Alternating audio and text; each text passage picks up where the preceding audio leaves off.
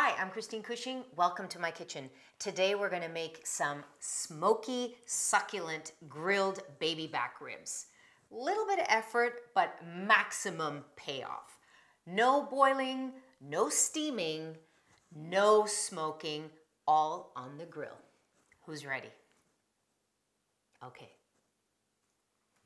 Feast your eyes. Baby back ribs. I got two racks here and the question is always to remove the membrane or to not remove the membrane. So we're going to remove the membrane. So I just want to get my knife underneath that membrane like that. So you see how there it lifts up. And now I'm going to flip it around because I'm right-handed. Grab a paper towel. Give me some spot here and now it's releasing and we're going to just pull it all off. Okay. The idea of removing that membrane is a little bit tough. But when you cook these ribs, you really can't taste it. But what's going to happen is the flavoring is going to go in more. The one slight disadvantage I've found with removing the membrane is a little bit more of the juices run. But, you know, I think this is the most popular way of doing it. So now, look at these babies. So now I can start with my spice blend. The whole idea of this method is what's the easiest way we can do it, get it on the grill, and then just basically forget about it. So step one is my dry rub. I'm gonna mix everything in the bowl here. This is my combo. I've got some toasted cumin that I ground. A little bit of allspice, ground again. Coriander seed. I like powdered ginger, it gives it a nice zip. You know I'm obsessed with smoked paprika, so there's gonna be a little bit of smoke happening from that. This is a little ancho chili, which is a poblano that's basically dried.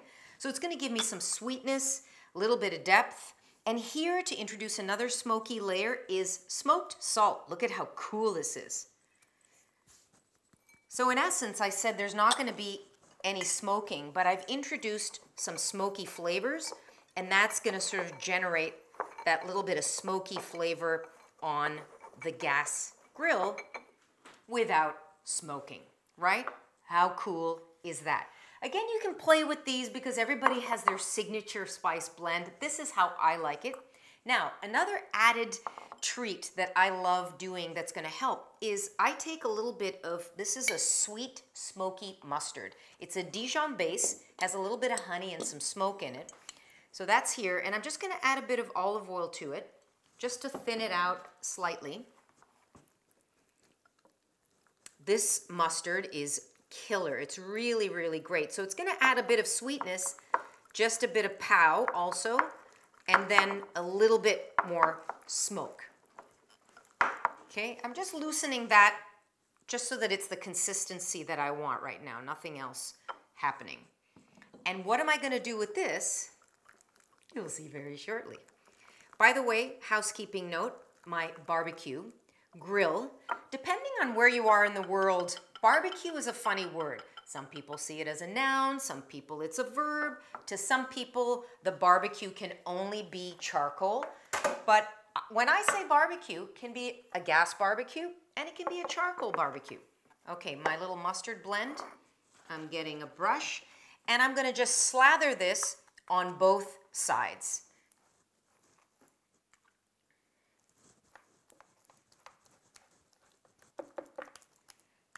So while I'm here, I'm going to do both of them.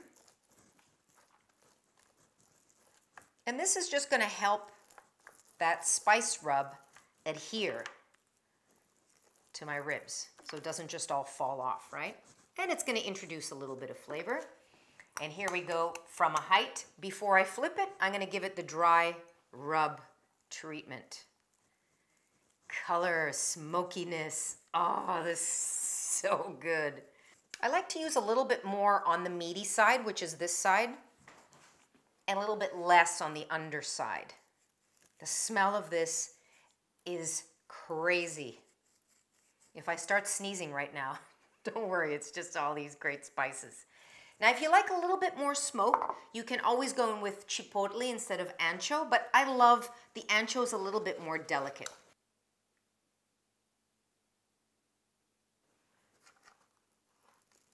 Repeat on the other side.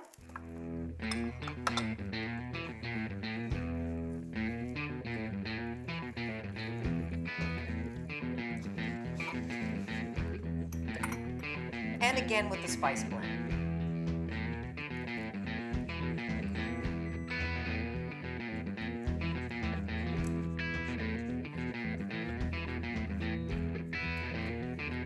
Now you'll notice no garlic, no onions. Because I know I'm gonna pair this after with a barbecue sauce, by the way, my espresso barbecue sauce, this is gonna go super amazing with these ribs. So that's what I'm gonna brush on it after. That has onions and garlic, so there's no onions and garlic here. Now, here's the thing. If you have a trailer with six barbecues on it and you're a pit master and you're competing, these are not the ribs I'm talking about. This is a rib that's gonna be super easy to make and you don't have to fuss with charcoal and spending seven hours waiting it for, for them to be cooked low and slow. These are low and slow, but not slow. Maybe an hour and a half, okay? So now we go to the cue. So 325, my barbecue is heating. Now I have the middle section shut off. I'm gonna cook these indirect heat for about an hour and a half.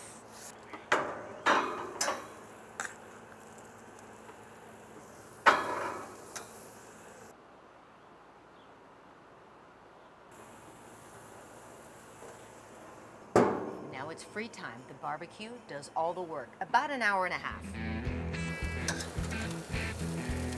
I'm just checking the progress 45 minutes in. They're looking good. I'm not gonna flip them, and I'm gonna wait to put the barbecue sauce 10 minutes before I take them off.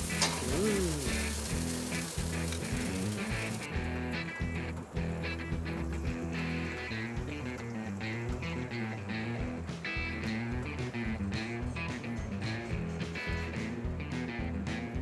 Okay, we're in the stretch. An hour and 15 minutes in, they're gonna get a slathering of this beautiful espresso barbecue sauce. And I'm just checking for my husband's scent markings around the barbecue because he tends to be like, mine, mine. It's actually mine, but whatever.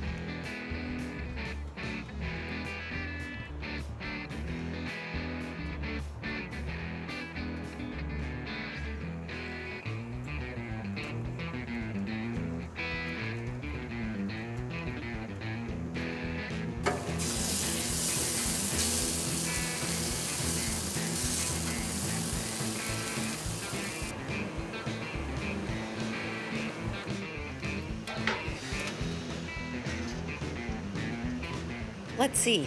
Oh, yes, these are looking great. The bone is just starting to pull apart, but not fall apart. These were exactly one and a half hours.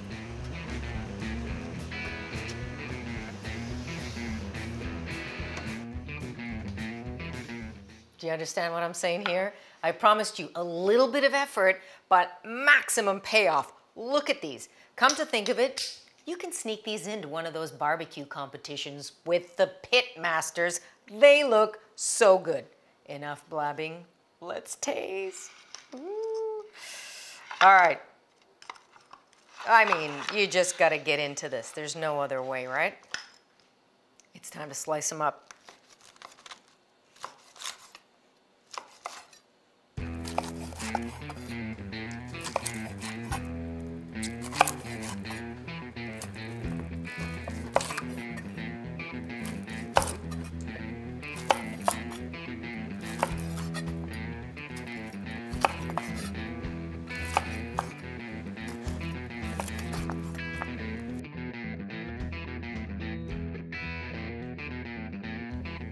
Wants to taste.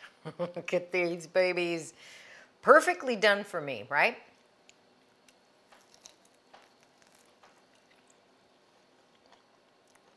Mmm. Whoa. For me, the sign that you've got perfectly cooked ribs is they come clean from the bone, but they're not falling off it. You want to have a little bit of resistance, but then that bone is clean. Espresso barbecue sauce, ridiculous.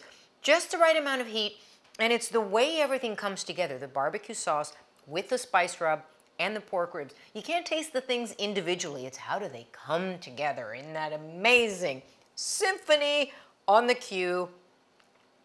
How excited are you to make these ribs? Are they good or what? Get the cue fired up, make the ribs. Thank you so much for joining me on another helping of my favorite foods. See you again very soon. Bye.